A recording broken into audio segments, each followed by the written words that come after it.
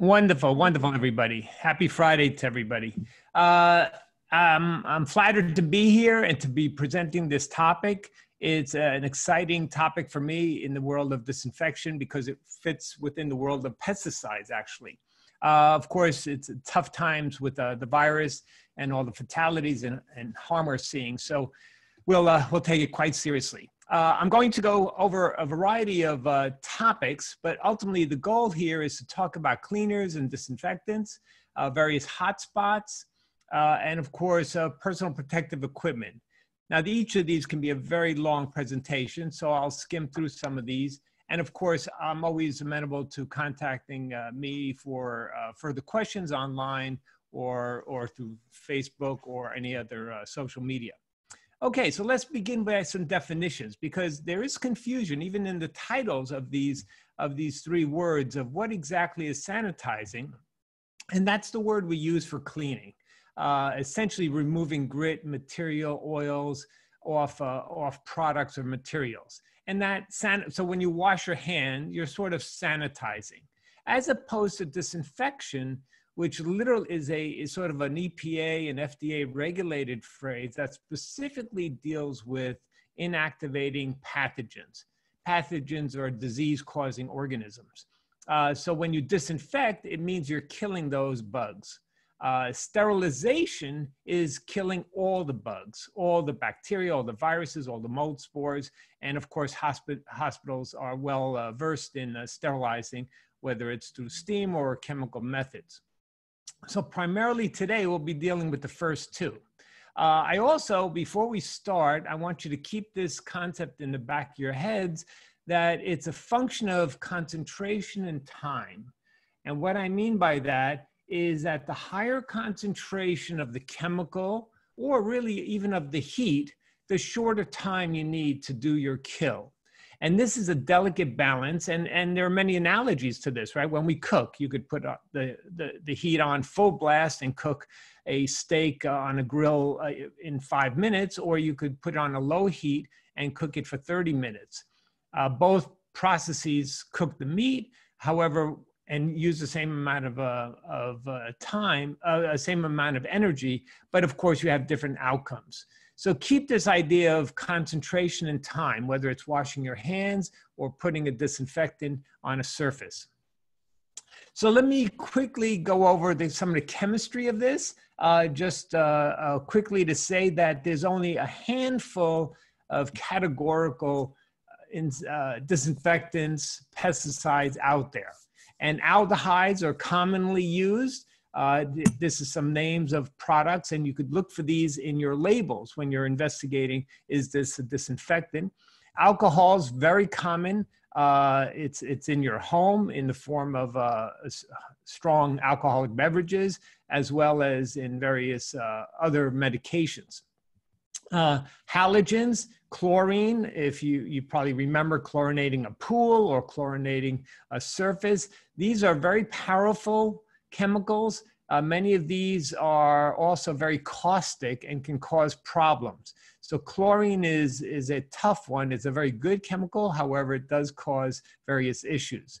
Uh, ozone is similar to, uh, to uh, chlorine. And by the way, halogens and ozone and peroxides have the unfortunate uh, benefit of not keeping, not producing a residual amount of protection. So um, hydrogen peroxide does the kill very quickly and dissipates. There's nothing left over. Whereas some of these other materials, especially phenolic compounds and especially the quaternary ammonia compounds that are very prevalent today, these are a little better because they last longer. So it's a delicate dance here between, uh, between these uh, chemical uh, disinfectants as far as efficiency and safety and use.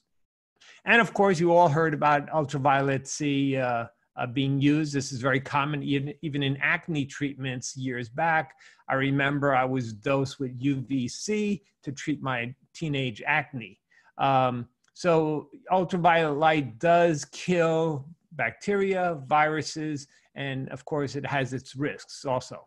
So that's it. Those are the categories, and they're regulated by different groups depending on where this material goes to.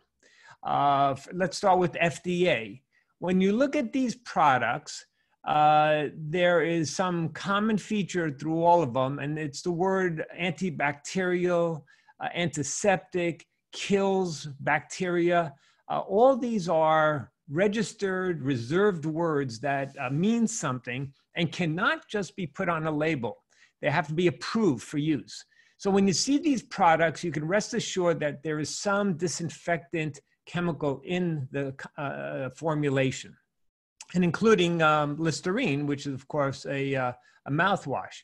The key here is that all this material goes on your skin. It's intended to go on your skin. And the important uh, point there is that it, um, uh, it's different from the surface disinfectants that I'll go over in a second.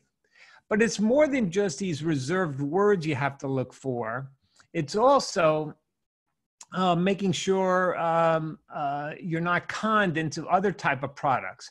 All these products are soaps. They do inactivate coronavirus. Absolutely. I'll explain that in a second. However, they don't have a disinfectant in them.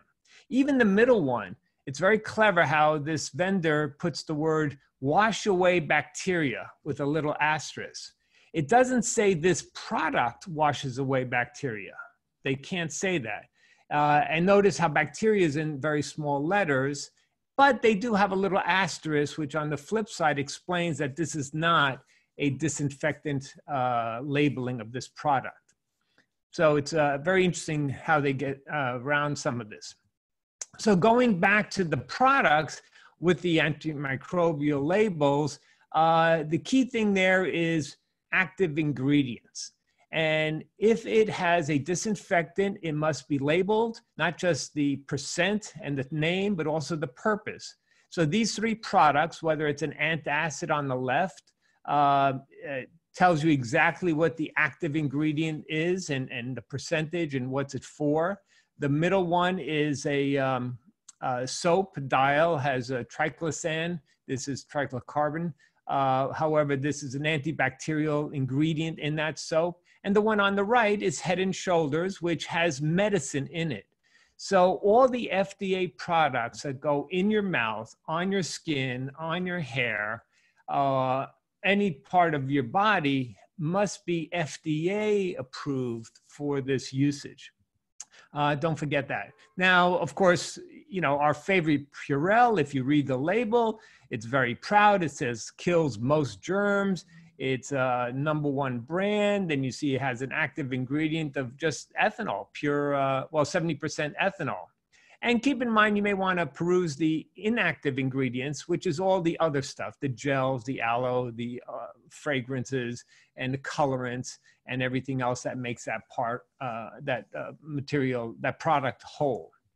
So it's fun, sort of fun reading these labels. But keep in mind, if it goes on your skin and it's supposed to kill the coronavirus or uh, or any type of uh, microbe, it must be part of that active ingredient. It must be so listed.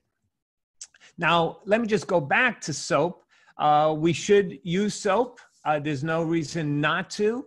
Uh, soap has a polar and a non-polar component, meaning part of it is water soluble, part of it is fat soluble. And what that means is the membrane around the coronavirus, that blue membrane you see on the right, is a, uh, lipid membrane. It's a fat membrane. And when soap actually uh, bonds to that, carries it out, and breaks it apart. So the good thing there is that this virus is sensitive to lipids, and of course, soap uh, can carry that away. Uh, of course, keep in mind, soap also removes, soap is also a sanitizing agent, meaning it removes dirt. And this is an important part. Too many people uh, I, have seen too many people using uh, hand sanitizer, alcohol hand sanitizer as a cleaning agent. Uh, your hands could be full of mud and you could use alcohol uh, sanitizer on it. And when you look at your hands again, they will be full of mud. There may not be any bacteria or virus in it, but it, it, it, does not clean your hands. Hand sanitizer, it disinfects the hands, does not remove the dirt. If you want to remove the dirt, you need a soap. Um, now, the next product, which is sort of more important or equally important, especially for some of the uh, uh, long term uh, homes, uh, the home health aides are using this. my mother is has a home health aide coming every day. We have procedures on what she should do and where what products she should use for for different areas. But it is a complicated world. So these surface disinfectants are for hard surfaces, kitchen surfaces, floors, uh, even clothing, and not your skin. It's very important that when you read this, you'll see it's a disinfectant and it's got an EPA regist- registration uh, number associated with it and the establishment, meaning who, what company is it, and what is the, um, the registered uh, ID for that product. Uh, if it is truly a surface disinfectant, and when you go shopping, you should look for this, flip the label and look for that EPA registration and establishment number. If it's not there, it's not a disinfectant and you can't be guaranteed. So all the all these products you see in front of you are disinfectant surface cleaners regulated by EPA for efficiency. Whether it's Clorox or uh, Lysol or any of the other products, most of these are either ammonia or chlorine based. Some of them are phenolic, like Lysol is more phenolic based. Uh, and uh, and the one on the bottom left is is where I'll I'll focus in a few minutes is what we're using today in tremendously high quantities in uh, urban centers and homes and residential and hospitals, the works. By the way, when a product is, is EPA, uh, when a product has an EPA registered ingredient, they are very proud of it and they will let you know. Notice right there on the Lysol kills 99%. Same thing with the Clorox bleach. You don't hide this information. You're very proud of it. So a vendor more than ever will tell you. Meaning if it's not on the label, something is amiss. So what we have here is our uh, governor uh, of New York, Governor uh, uh Andrew Cuomo, is demonstrating the use of a fogging device. Uh, so what we have here is lemon quat. The, immediately, quat refers to quaternary ammonia, uh, and you see that this is a U.S. EPA approved commercial strength surface disinfectant for fogging. There are three key words there, this is not your average material that you can buy. It's a stronger formulation. It's made for surface disinfection, not airborne disinfection, and it's uh, it can be fogged, meaning it can be released as an aerosol. Uh, and that's what he's doing. Notice on the uh, on the right, we have this fog generating machine that picks up some of the material and sprays it as a very fine aerosol, much the way we're releasing coronavirus when we cough. And of course, the fogging is evenly dispersed on, on the tables there, on the uh, chairs of the subway. Also, keep in mind that he's wearing his respirator, his N95 respirator, the wrong way. These straps should go around the crown of your head. So it's a little embarrassing for him to be shown here. But things like that do happen. The material is easily researched online. You can get the safety data uh, sheet for this. Uh, you could go through uh, either the EPA website and look up this number. And you see it has very low percentages of these active ingredients. And the first one in the, um, well, notice it's, it has two ammonia compounds and a phenolic compound. So it's really a blend of two, two categories of disinfectants, the phenolics as well as the ammonia compounds. So now, what you don't want to do here is mix this compound, which has ammonia nitrogen, with chlorine. That's always a no-no uh, where we see too many accidents this way, and I'll, I'll talk more about that uh, later on. So uh, you see that this is a balance, a very delicate dance between how good is this stuff, how long does it last, you know the kill how quickly will it kill and how what's the residual time?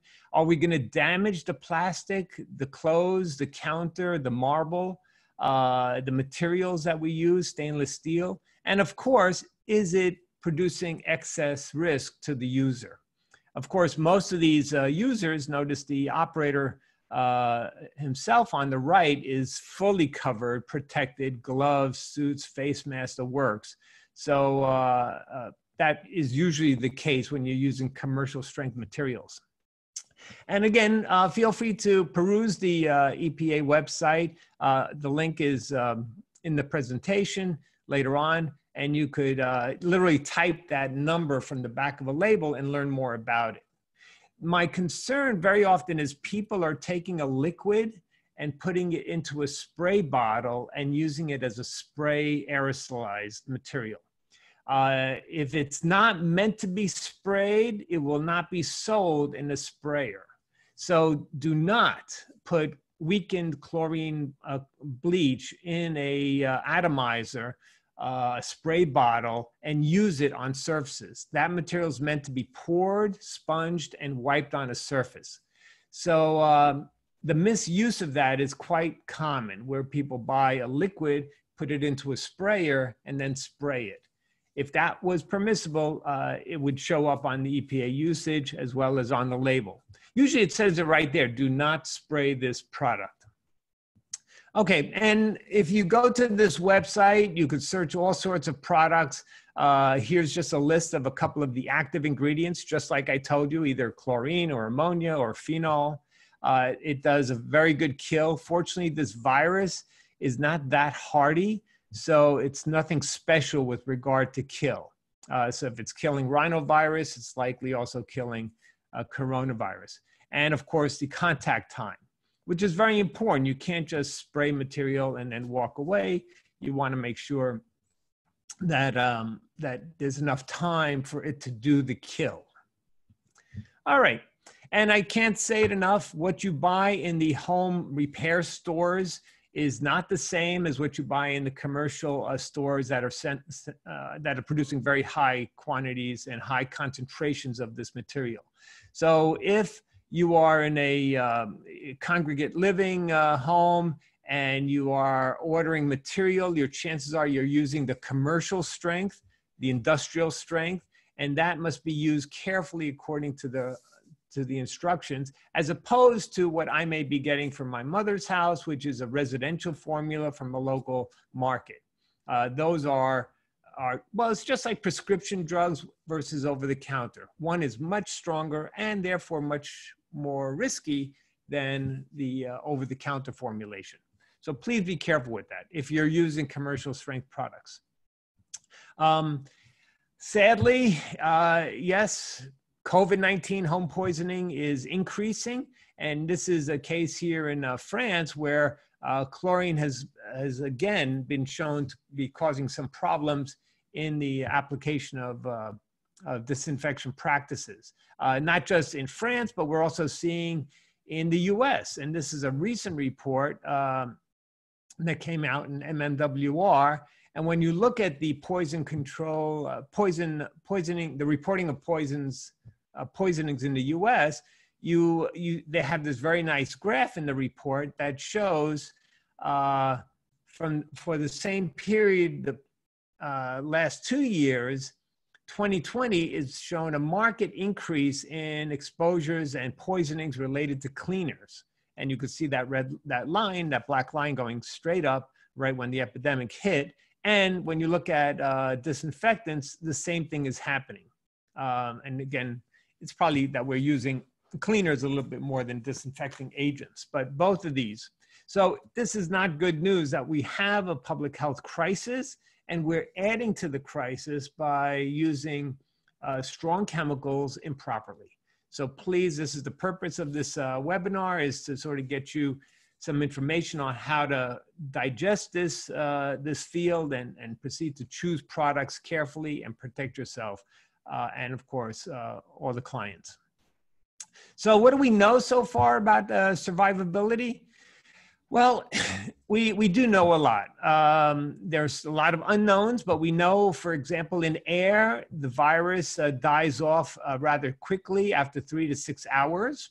Uh, of course, what is air? Dry air, cold air, hot air, moist air. So we'll elaborate in a second. We know that on paper, uh, when they spray a viral load on paper, it within uh, one or two days, the virus is desiccated and is no longer active. Uh, we know that on metal, the virus lives a little longer, uh, probably because it's not desiccating as much. And this is not good news because a lot of our surfaces in our homes are metal or plastic.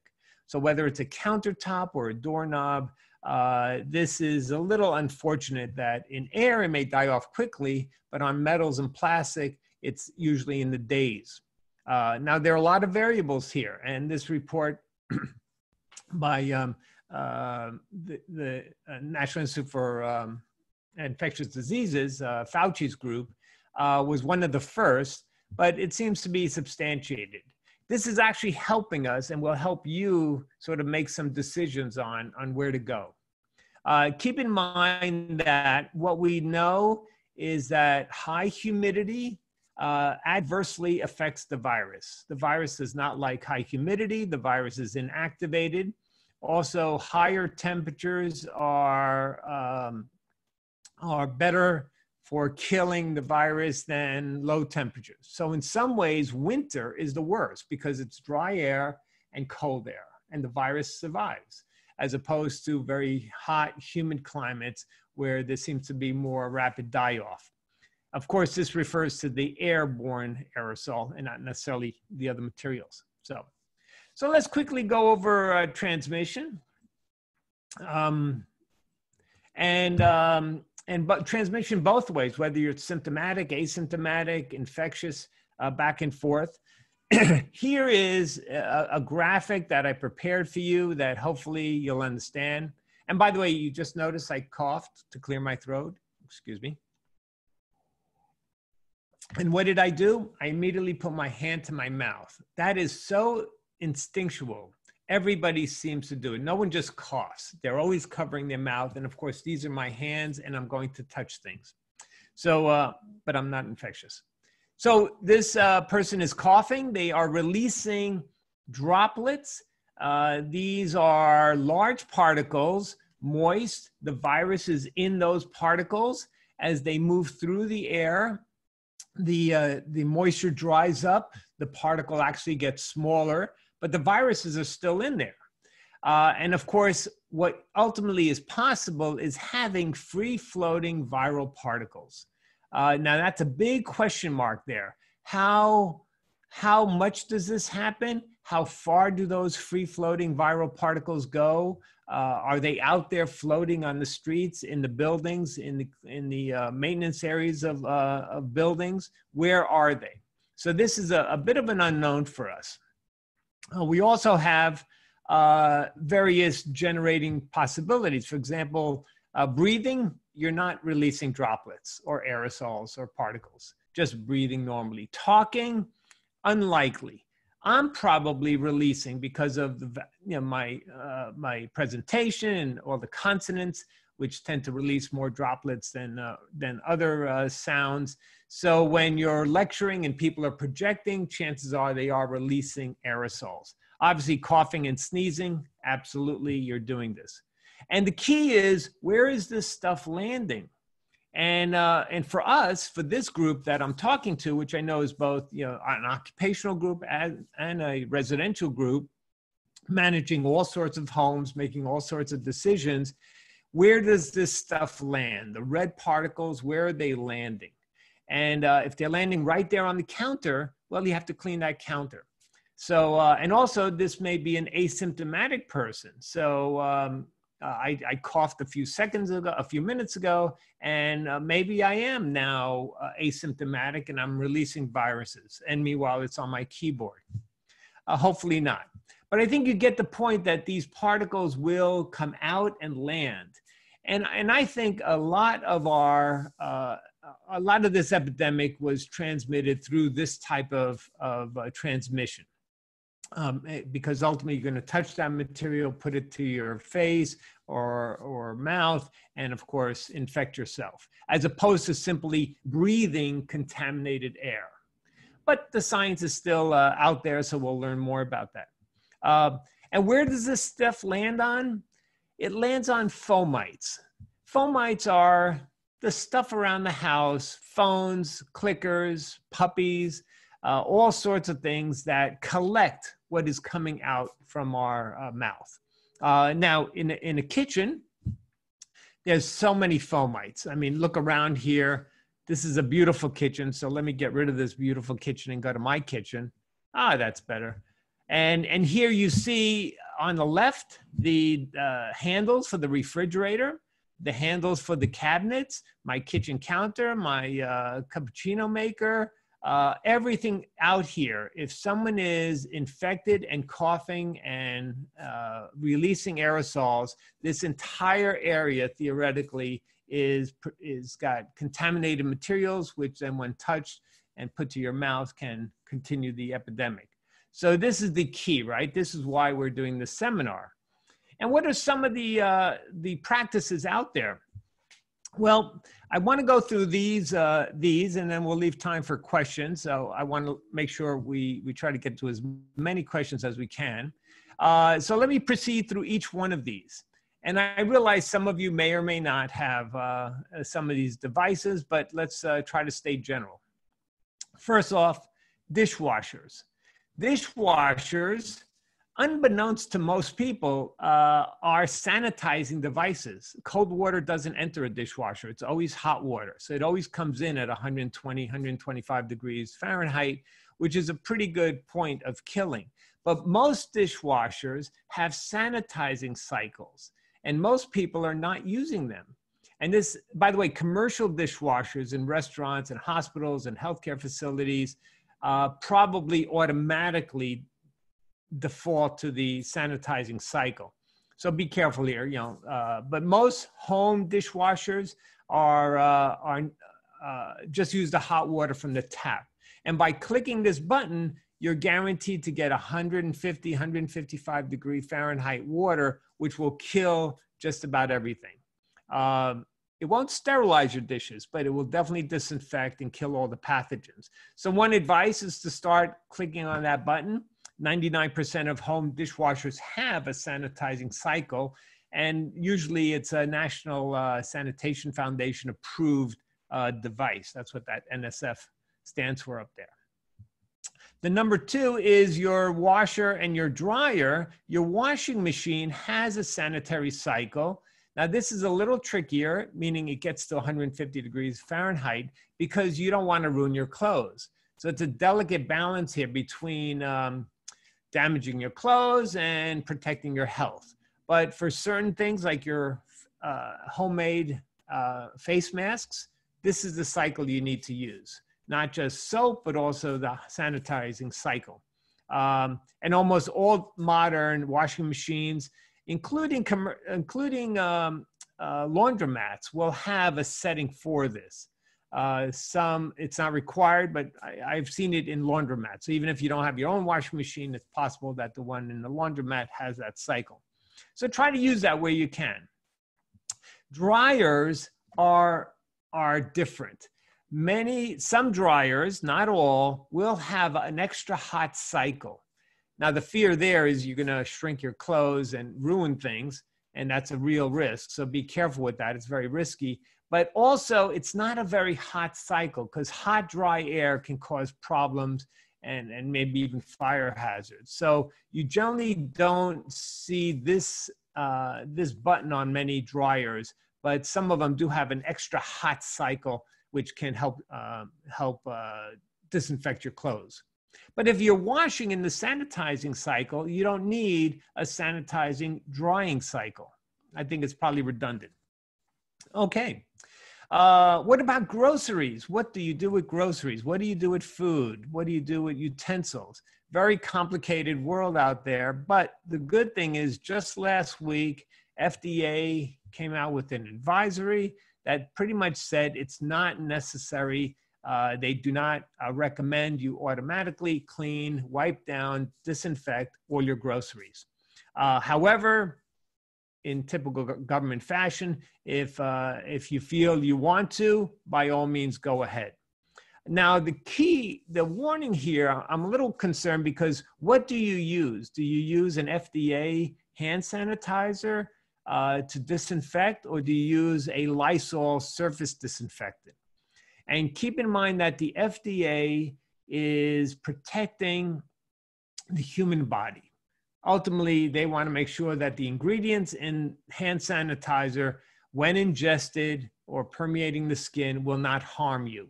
And given that food is something that's going to go into your body, I think if if you're trying to sanitize the outside skin of an apple, which you may eat, you don't want to be using Lysol because that was not meant for for that ingestion. So be a little smart here on what to use. Uh, and sometimes soap and water may be the easiest. But some advice you'll see more and more fruits and vegetables in packaged plastic coverings. This is anti environmental, it's anti green. We're going the wrong way, but we'll get back to the right way soon enough, hopefully. Um, but I'm seeing more and more of this that people don't want to just buy tomatoes, they want them pre wrapped because there's some assurance here that you are not buying something that someone just coughed on. And even when I'm shopping, I find the, the bad practice of picking up some apples. I don't like this when I put it back and I get that one.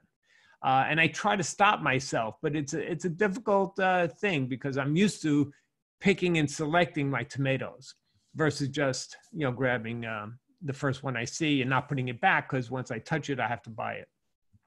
Then you have boxed items. Some people are removing the the food, the, the cereal from the box, figuring if someone coughed on the box, it has viruses. I don't want to touch it and put myself at risk. I'll just throw out the box and take the inside. So there's a couple of things. And, and many people are washing canned goods or plastic goods. And FDA is, is, uh, is not saying you, you shouldn't. They're saying you don't have to. But again, it depends on your risk, where you're working, who you're protecting, uh, your age, and all the other variables that come into it. So some of these are, are individualized decisions for the, the, the occupational setting you're in. Uh, and obviously, if you're caring for elderly with multiple health conditions, it everything gets bumped up to a higher level of, of standard there. Okay. So let's go over coronavirus uh, in soil. No, there is no coronavirus in soil. Uh, the only possible uh, exception is it possible that we we have people coughing on soil and then minutes later someone is using that soil? It's, it's somewhat preposterous.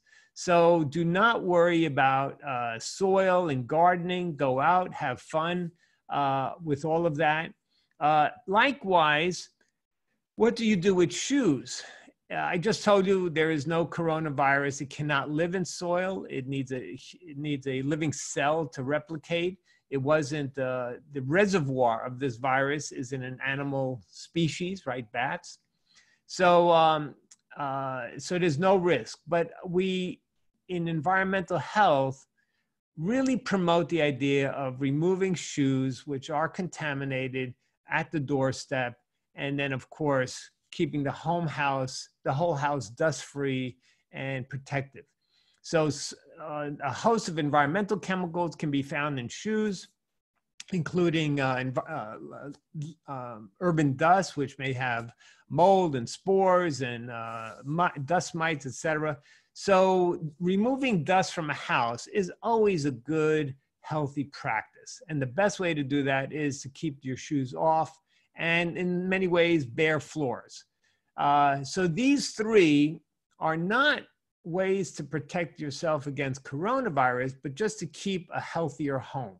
Uh, and most of the um, the problems we see in a lot of homes tend to be dust accumulation because you never think of dust as a health hazard. Okay, uh, uh, moving towards the end of uh, the presentation, let me talk a little about respirators and face mask usage and cleaning. We see all sorts of respirators out there. Most of them are paper or synthetic uh, paper uh, compositions. Some are cloth. I think you know plenty uh, about N95. Seems like the whole world now knows what N95 stands for. However, the proper N95 is an approved mask with all sorts of labels on it. So if you don't see a lot of writing on a mask, it's almost immediately suspect. Um, and here are some uh, guidelines on that. Uh, the next option that CDC just uh, uh approved for uh, healthcare workers um, and is much more prevalent are the KN95s. KN95s are the Chinese uh, approved respirators, obviously coming from China. There are some good features here. Right away, you'll see that it has ear straps, that ear uh, hooks that go behind your ear. So if something goes around your ears, it cannot be an N95. It's probably a KN95. Um, they're not bad. I sort of like them. Uh, they fit a little looser and sometimes a little harder to get a, a nice tight fit around the nose, but they definitely are, are very valuable in controlling this epidemic. Um, then we have, of course, surgical masks. Some are disposable, some are a little bit longer than that. Uh, we see plenty of those. Plenty of you have been gotten into making your own masks, all different styles. Some are very professional, like the one on the left. Others are sort of bandana, uh, handkerchief type. The good thing here is that disinfecting these, as well as the bandanas, is very easy, right? Just take it off, put it in the hot wash, and uh, reuse it. Uh, so that therefore most people should have several of these. Okay, and of course make sure they're colored, color coded to your, your clothing. Uh, it's very important to look good also. Uh, now, as far as disinfecting, we're back in my kitchen here. As far as disinfecting, I have a, a couple of uh, recommendations, all coming from CDC. So I'm not making this stuff up. Uh, steaming, 150 degrees for about 20 minutes think of steaming vegetables. Basically, you're you're setting up a steaming operation and keeping it there for you know 20 minutes, 30 minutes. You could also put the respirator in a plastic bag with a little cup of water, put it on high heat, uh, put it on high in your microwave and nuke it for 30, 90 seconds. Um, and it does a really good job. In some ways, I like that better. Interestingly enough, the metal in my respirator is not sparking when I do that method. I can't quite figure out the physics of that, but I'll have to investigate it. The alternative is dry heat, putting it in an oven uh, for uh, 106 for basically uh, uh 30 minutes at 160. 140 is sort of the key kill point. Uh, but let's just go to 160, 200 degrees for 30 minutes. So that's another possibility. Um, there's a YouTube on this if you'd like to click with instructions on how to do it. It's a short YouTube. I'll let you go there in your spare time. And keep in mind, everything I just said is on the CDC web page, and it actually says there microwave steam bags, uh, uh, a 100, 1100 watt uh, uh, microwave unit, 90 seconds, 99.9% kill. So, all of this is sort of great guidance by CDC. Now, going back to air and paper. You remember when I said the virus doesn't live much longer than three to six hours in air, one to two days in paper? What has been proposed and is being done by a fair number of people is rotating respirators. So let's say you have five respirators, N95s, the best ones, and you uh, are using them daily. What you want to do is use one, a different one every other day, and after five days, go back to the first one you want to store this respirator in a paper bag so it can breathe a little, not a plastic bag. You want that moisture to come off and the air circulate. And if possible, even put it in the sun. But there, many, many people are using this, figuring if the virus lives only one or two days on paper, then uh, keeping it there for four or five days will give us that extra protection. So if you're concerned about that. Now, there are many messages here, and, um, and let me let me start. I wanted to do this uh, sequentially, so I forgot my animation. The first one, hand sanitizer. I'm such a big believer in this. Use it all the time. Uh, it seems to be more prevalent these days. You have these hand sanitizing uh, dishwasher, uh, these uh, sanitizing dishwasher cycles and and washing machine cycles. Now is the time to start using them. Uh, always make sure you're buying EPA registered surface disinfectants and using them properly. And be careful with the do it yourself form- formulas. Uh, they're, I'd say not now. This is not the time to sort of save money and make your own lemon cleaner using a synthetic, organically, environmentally safe compound. I'm sorry. At this point, I want a EPA or FDA certified ingredient that does the job. Um, I am very suspicious of gloves. I, I'm worried that too many people are using gloves, usually the wrong way. Uh, I don't know why they're using it. Do they think they're protecting themselves versus, versus the client, the patient, the uh, the elderly? It's it's a complicated world, and I think people need to think through this a little bit better. So, what's the point of of wearing gloves if you're touching contaminated fomites all day long, um, etc. Uh, interestingly enough, also respirators have the problem where people are always adjusting them. And when you're adjusting them, you're touching your face. And that's also risky. So people told me wear a respirator because um, uh, you'll um, you'll protect yourself against the virus and it prevents you from touching your face. Well, I've seen too many people always touching their respirator, readjusting it. So I'm not quite sure that flies. Um, disinfect your face mask often. Wash your homemade uh, uh, cloth, your face mask, uh, facial protection as often as you can. Taking your shoes off at the door is just sort of a reminder of, of keeping a healthy, dust-free home, microbial safe home.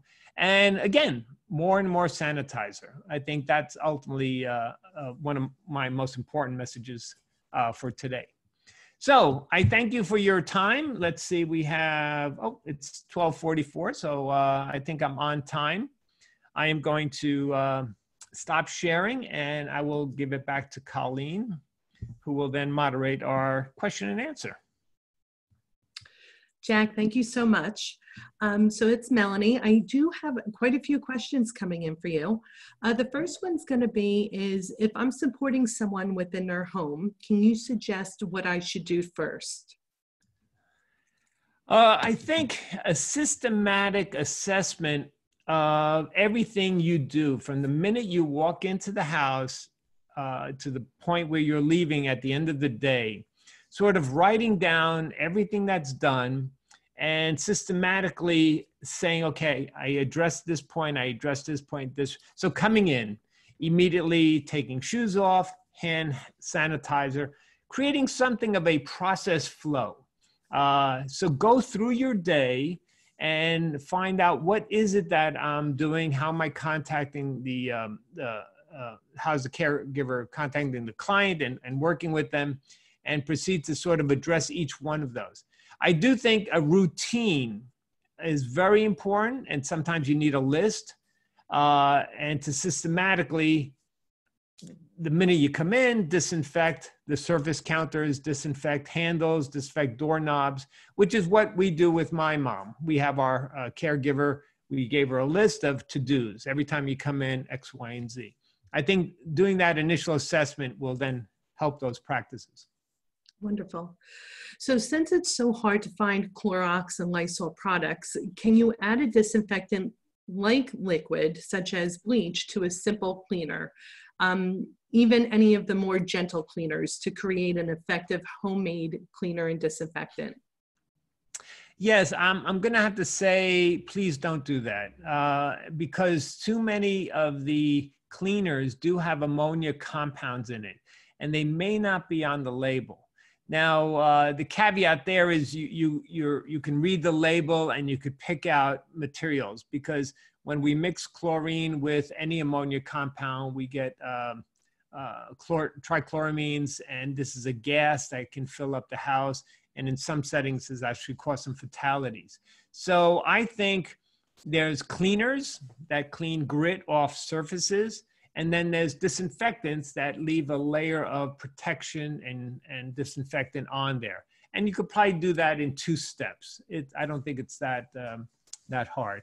Uh, by the way, acids like lemon, citric acid, vinegar, they are uh, reasonably good at killing bacteria, but you notice nowhere on my list of disinfectants that I have acids. So um, vinegar is very strong and, and can likely kill. Uh, so I know a lot of these home cleaners use vinegar-based solutions. And while I think they're they're likely to work, uh, given that they're not on the list, I'd say uh, I can't officially bless it. Okay. How effective is UV light disinfection for COVID-19? And do you have any information about light um, intensity and time studies? Yes, UV light, uh, specifically UVC, 270 nanometers and uh, below, is very good, very good. We have been using UV lamps in restaurants as a surface disinfectant for decades. Very powerful lights that go on at the end of the day, even in clinical settings, and essentially nuking, irradiating all the surfaces. And by the end of the shift, a few hours later, there's literally no living bacteria virus uh, in that area. The problem with UVC is commercial versus residential.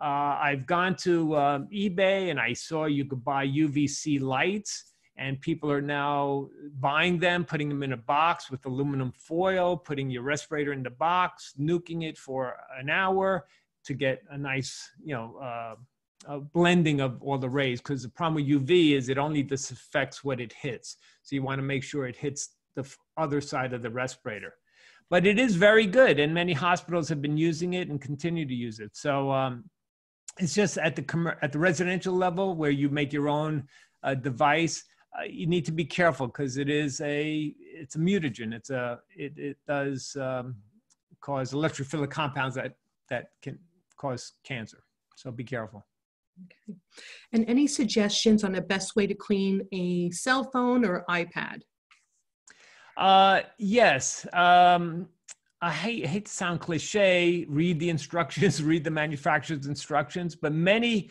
companies, including Apple and uh, Google, have put advisories on the best way to do this. So if you can't find your device on that site, uh, which sometimes will say do not use phenol compounds, do not use ammonia, do not use a bleach, use, uh, you know, let's say an alcohol. Um, uh, in general, uh, I think the safest, easiest uh, uh material is the hand sanitizer. Uh, ethanol gel is very good. You could put it, sit there and clean your your um, Uh, clickers for your TV, which are complicated. It can take you a long time to clean one of these devices because there's so many nooks and crannies, as opposed to a cell phone but I would say when in doubt, start with the gels, the hand sanitizing ethanol gels. Jack, can you talk a little bit about how the transmission of COVID 19 differs from that of the flu? Or again, how, how it's also similar?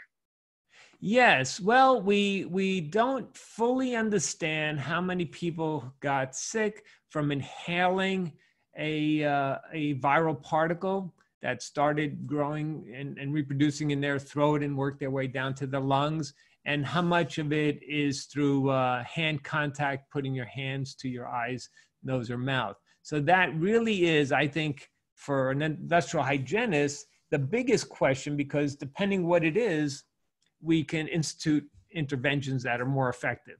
Um, so we we don't uh, know. I believe most of it is hand to mouth from fomite transmission. I have no real uh, uh, scientific basis for that, just from what I've been reading. But I think at this point, we have to assume that someone coughing in a cab can easily transmit that exactly to uh, the driver. Which, by the way, in an enclosed setting like that, I think that's a very high risk.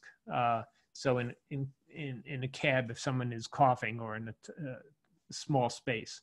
But as far as the air, let's say the air around an urban center in Piscataway or something, um, we still don't know how viable that virus is in causing disease. So the next question is about misting N95 type masks on both sides with an EPA approved disinfectant. Is this an effective method? That's a great question. Thanks for asking it, whoever did that. Um, be very careful with that because um, certain compounds, Lysol, the quaternary ammonias, uh, do not react well with the filtering material. Uh, the filtering material itself is electrostatic. So try to use ethanol uh, and hydrogen peroxide mist if you can get a hold of that, but it's hard to get, uh, as opposed to Lysol. So we, we sort of prefer meaning CDC also says this sort of prefer using the moist heat method or the microwave method and heat to kill it as opposed to just spraying it with some uh, material. Definitely don't spray it with a Clorox because that will uh, cause the material to uh, to oxidize, including the rubber bands and the metals will will be affected. Uh, and try to stay away from phenolic compounds with N95s. Jack, uh, previously you mentioned not using a liquid cleaner in a spray bottle. We have someone that wants to know, um, is this true for making a bleach and water solution in a spray bottle to clean surfaces? Yes, and uh, I've read many of Clorox bottles, and most of them specifically said do not uh, uh, do not put it in a spray bottle. So when you make your dilute Clorox solution, uh, this is really meant for a sponge and a rag sort of cleaning. Um, I think if you're buying, if you're if you really want to use a spray disinfectant, which is really handy, I like them better anyway. Uh, you can control where they go uh, you know, go shopping for the right material and maybe even use the label as a guide for percentages of material. Because if you're using it as a spray, it's becoming aerosolized and then you're inhaling it, and that may cause other problems. So, um, my advice is to try to buy the appropriate ingredient, appropriate buy the appropriate product for spraying. And there seems to be plenty out there, but you just tell me that many people are having trouble finding that, so they may have to do their own. If you are doing it, please wear an N95 or some good uh, face protection when you're spraying it, because the the chlorine uh, misting uh, is an irritant gas, and it will have its own uh, it will have its own respiratory effects. And is it necessary to use an antibacterial soap to address the coronavirus? Good question. No. You, uh, from everything I've read, the, pro, the, the viral shell is, as usual, a lipid membrane, and you could go ahead and use any soap. It'll catch that and wash it off. So um, there is controversy with antimicrobial soaps uh, and, and uh, bacterial uh, um, resistance. So I would say no, you don't need to spend money for a soap that has antimicrobial. Uh, however, if you have it and it's the same, you'll find very often they're the same price for marketing reasons. They're the same price as the other soaps. Uh, and in that case, I guess I'd go for it if it's the same price, but I wouldn't spend extra for it. Perfect. And is rubbing alcohol appropriate to use to clean counters? Uh, Yes, rubbing alcohol, isopropyl alcohol. Uh, hopefully, it's a strong strength. Usually, it's ninety percent. Um, is absolutely good. You could pour that on a rag. Uh, I'd rather you not mist it because then it becomes an airborne hazard. But you pour that down, wipe that in the counter, and it will do an excellent job of killing. The problem with isopropyl, if any of you made isopropyl gels with um, because you ran out of the uh, you know, Purell gels is uh, it doesn't really smell as good uh, and it leaves a different odor on your thing. So you may have an odor issue, but as far as effect, uh, efficacy, it's it's perfect. Wonderful. So if someone's having trouble finding the alcohol and disinfectant cleaners, um, could they use drinking alcohol to actually sanitize a counter? Yes. So uh, drinking alcohol, ethanol, um, is uh, grain alcohol is very good. Uh, 70%, the, the uh, FDA requirements there usually are between 60 and 90%. Uh, and if you calculate proof, that's 150 proof alcohol, which like Bacardi 151. So getting very strong alcohol, and there is a brand that's out there which is pure uh, ethanol, like 90%, is what you want to get um, pouring some Grey Goose on a counter and wiping it down will kill a lot, but it may not kill uh, 90%. It may only kill 90% and leave some there. So. So Jack, I know that we're running close to our um, end time. Do you have an extra five minutes to give today? I do. Yes, it's Friday. It's it's it's it's a nice quiet day. Perfect. We have a lot of questions still coming in. Yes. Um, so, can you discuss your opinion on steam cleaning options for the home? Uh, steam cleaning is very useful. So, including for what good thing with steam cleaning is, um, it of course is killing the bug, uh, killing the virus, and uh, ra- relatively safe, very low risk, except for the temperature issue, perhaps. So you don't have any harsh chemicals, and it's very uh, applicable to a number of materials, including synthetic carpets, couches, and other materials that are around the house. Um, so I would say steam cleaning, um, making sure that that heat is at 140 degrees or so is very good. That would that would be an effective uh, control measure. And can we talk a little bit about um, equipment that someone may use um, for mobility, such as a wheelchair? Um, is there sanitizing or disinfecting practices that you could best recommend? Yeah, the materials there would be a surface disinfectant, either a spray or a liquid formulation. Uh, and the key is to uh, sort of analyze the usage of that equipment. Let's say if it's a wheelchair or a um, or a, a, a, walker, where are the where are the people putting their hands and making sure you focus on that point doing the bottom of the walker or the wheelchair may not be necessary, but of course, the outer rim of the wheels, that's it. So I would say that should be a very uh, commonly disinfected uh, item because the transmission there is so so possible that someone coughing and then grabbing the rails and walking and then doing it again. So I would say multiple times during a shift, I would say that should be done. So obviously we have a lot of parents, teachers, uh, professionals on the line, even students.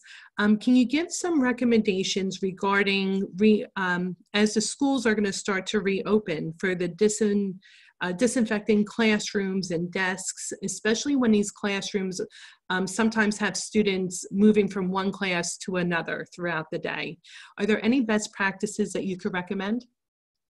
I think that's going to be a challenging, uh, challenging intervention because uh, it's not a one-shot deal. You know, we're disinfecting the subways uh, last night. Well, the minute they're open again, we have to start from zero.